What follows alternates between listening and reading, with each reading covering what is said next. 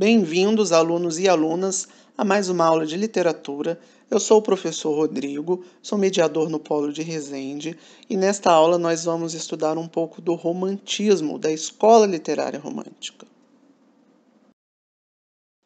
Mas antes, vamos revisar o que foi o arcadismo, que foi a última escola literária estudada, que foi uma expressão artística do iluminismo e retomou valores da cultura clássica trabalhando toda uma simplicidade também na linguagem, percebia a arte como imaginação num estilo convencional, mais pastoril, mais bucólico, com expressões como locus amoenos e fugere urbem, que era a fuga da cidade para locais mais amenos, e também referências a deuses mitológicos e a efemeridade do tempo, como carpe diem, colha o tempo, aproveite o momento. O arcadismo ele finaliza a chamada era colonial, enquanto que o romantismo inicia a era nacional na literatura. Qual é o contexto histórico do romantismo? Bom, algumas mudanças econômicas e sociais, como as revoluções industrial e francesa, aconteciam à época. A burguesia se estabelecia com a consolidação do capitalismo. No Brasil havia todo um clima de independência do país e a formação de um mercado de leitores. Essa pintura é um quadro de Eugène Delacroix e ela representa o fim da Revolução Francesa, representa o espírito rebelde dos românticos. E quais são as principais características do romantismo? Temos como principal característica a subjetividade, que vamos ver logo adiante o que, que é mas também temos a imaginação e a emoção como recursos para essa expressividade. O individualismo também é valorizado, o herói romântico ele é mais imerso em pensamentos e sentimentos. Há um retrato da natureza como admirável e bela. Tem todo um nacionalismo, um patriotismo e também uma liberdade de criação, uma liberdade criativa. Aqui temos uma pintura de Pedro Américo que representa a independência do Brasil, retratada de forma imaginativa, pois não é fiel à realidade. Sabe-se historicamente que a comitiva de Dom Pedro era muito menor e que não eram cavalos e sim mulas que eles usavam na época. Então aqui se vê o recurso da imaginação para retratar um evento histórico. Enfim, o que vem a ser uma descrição objetiva ou uma descrição subjetiva. Se eu digo que Juliana tem 27 anos, cabelos compridos e é de baixa estatura, isso são características próprias da Juliana. São características concretas, são fatos. Então é a realidade tal qual ela é, é uma coisa objetiva. Mas se eu digo que Juliana me irrita bastante, ela é uma menina muito curiosa, sempre espreitando e observando a tudo e a todos, isso já tem a ver com uma percepção da pessoa, uma opinião pessoal, a percepção do sujeito. Por isso se diz que é uma descrição subjetiva. Então, descrição objetiva tem a ver com os fatos e descrição subjetiva tem a ver com a imaginação, a percepção. Então, o romantismo ele é marcado pela narração, pela descrição, uma descrição mais subjetiva. E essa questão do subjetivismo, da subjetividade, ela se ramifica em outras características, dentre elas a idealização, o sentimentalismo e a liberdade formal. A idealização tem a ver com projeção do imaginário de alguém sobre algo ou outro alguém tem a ver com o mundo das ideias, com os ideais de alguém, não corresponde à realidade dos fatos.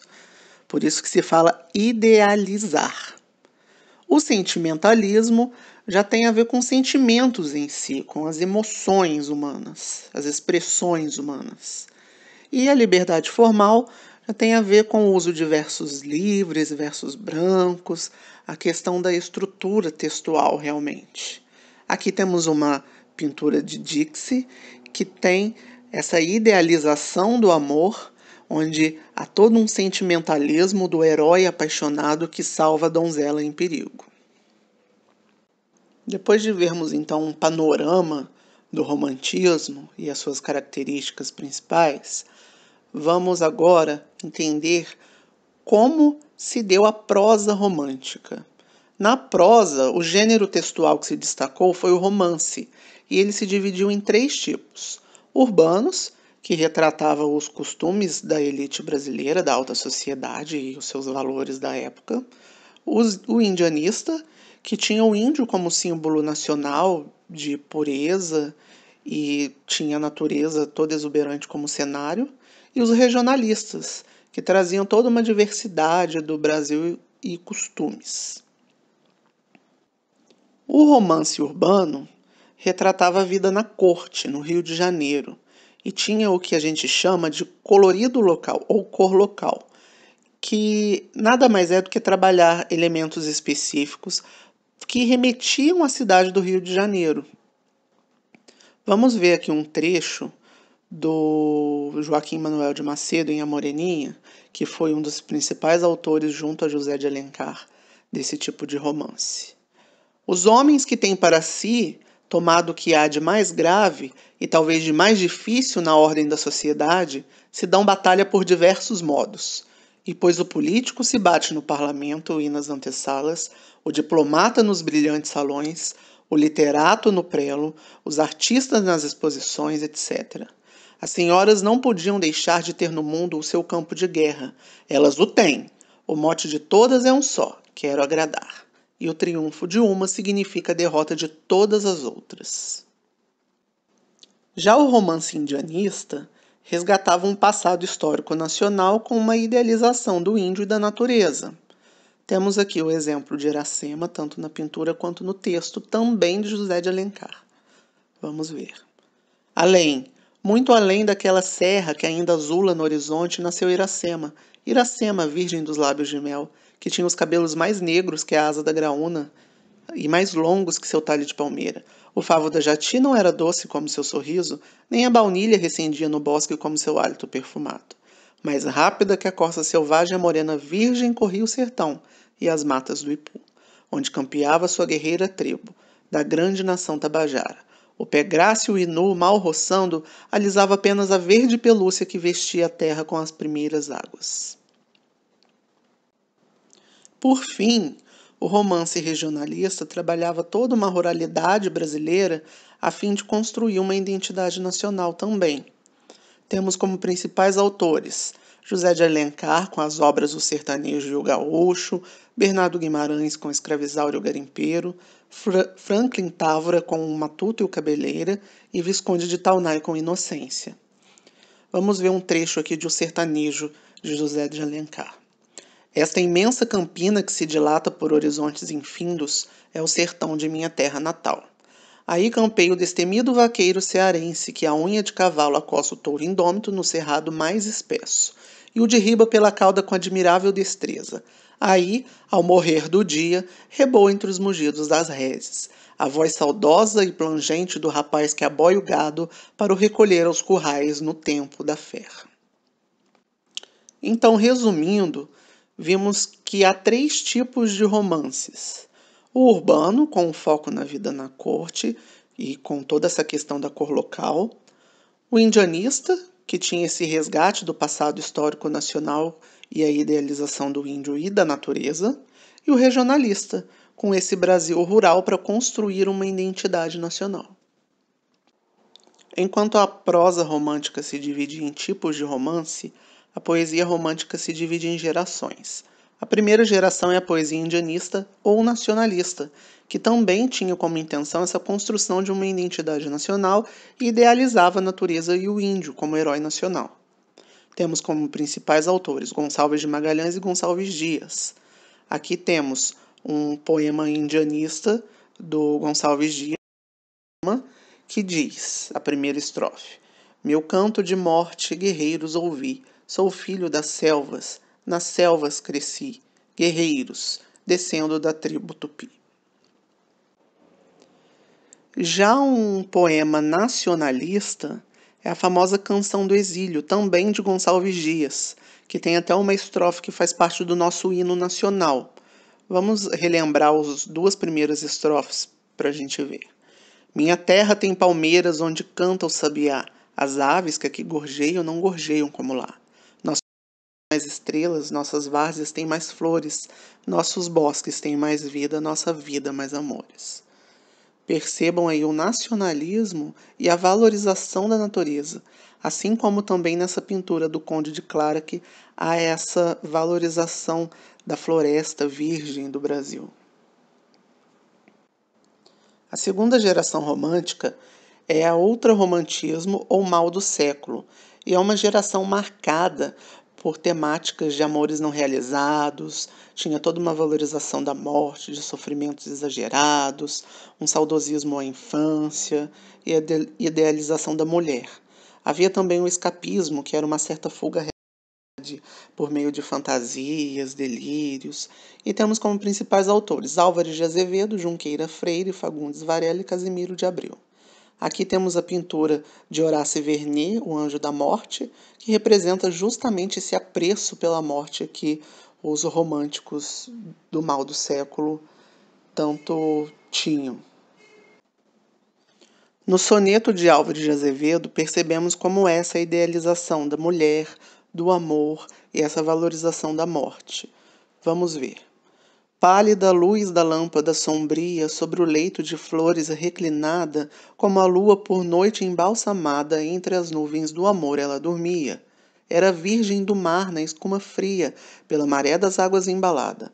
Era um anjo entre nuvens da alvorada que se banhava e se esquecia. E era mais bela, seio palpitando, negros olhos as pálpebras abrindo, formas nua no leito resvalando. Não te rias de mim, meu anjo lindo, por ti as noites eu velei chorando, por ti nos sonhos morrerei sorrindo. Percebam as palavras virgem, anjo, sonhos, morrerei. É a questão de virgem e anjo para idealizar a mulher como uma figura angelical, uma figura virginal perfeita. É, morrerei para valorização da morte, né? não realizado e sonhos a questão do escapismo. Temos aqui uma pintura do John Lys, que é a morte de Ofélia, uma personagem de uma tragédia shakespeariana e tem toda essa dramaticidade da morte e tudo mais que representa aí a segunda geração.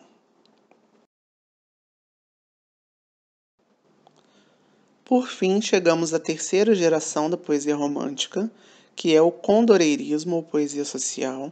Tinham temáticas mais sociais, com um olhar objetivo já mais para a realidade, já tinha uma certa transição ao realismo, também conhecida como poesia engajada. Já tinha ideais democráticos e abolicionistas, e os principais autores eram Tobias Barreto, Castro Alves e Souza Andrade. Temos aqui uma pintura do Debré, um jantar brasileiro, que representa essas diferenças sociais entre negros e brancos à época. E a figura do condor, que é a inspiração do nome dessa geração, porque era uma ave de um voo solitário, mas que enxergava longas distâncias. Temos também para ilustrar aqui alguns fragmentos de Navio Negreiro, poema do Castro Alves, em que um deles diz o seguinte: em sangue a se banhar, tinir de ferros, estalar de açoite, legiões de homens negros como a noite, horrendos a dançar. Negras mulheres suspendendo as tetas, magras crianças cujas bocas pretas arrega o sangue das mães. Outras moças, espantadas, no turbilhão de espectros arrastadas em ânsia e mágoa, mágoa vãs. Temos também aqui duas pinturas, também com o mesmo nome, Navio Negreiro. Uma de Turner, que é mais esfumaçada, mais enevoada, porque os românticos eles não estavam preocupados em retratar as coisas como eram de fato, e sim os sentimentos que elas causavam, as emoções que elas causavam. E a outra de Rugendas, que já tem contornos mais delineados, mais precisos, que aí já tinha uma transição ao realismo. Enfim, resumindo, temos três gerações da poesia romântica: a indianista ou nacionalista, com a idealização da pátria, do índio e da natureza, com toda todo esse nacionalismo, esse patriotismo. A segunda geração, que é a ultrarromântica, ou mal do século, com a idealização da mulher e do amor, com muito sentimentalismo, paixão e morte. E a condoreira, ou social, que já tinha essa temática mais social, essa denúncia social, e engajada em ideais abolicionistas.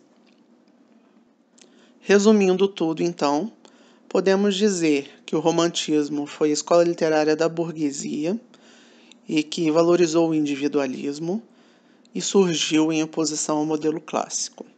Tem como características o subjetivismo, com a idealização da pátria, da mulher e do amor, além do sentimentalismo, do saudosismo e da valorização da natureza e da morte. Temos também uma liberdade de criação e expressão, com liberdade formal, como os versos livres e versos brancos, Percebemos nos poemas o uso de antíteses, hipérboles e metáforas como recursos para favorecer essa expressividade. E vimos que a prosa tem três tipos de romances: indianistas, urbanos e regionais, e a poesia três gerações: nacionalista, também conhecida como indianista, ultrarromântica ou mal do século, e condoreira ou poesia social. Bom, terminamos aqui nossa aula de romantismo, espero que tenham gostado. Se aprofundem nos estudos, façam os exercícios da apostila e qualquer dúvida procurem o mediador do seu polo. E até a próxima!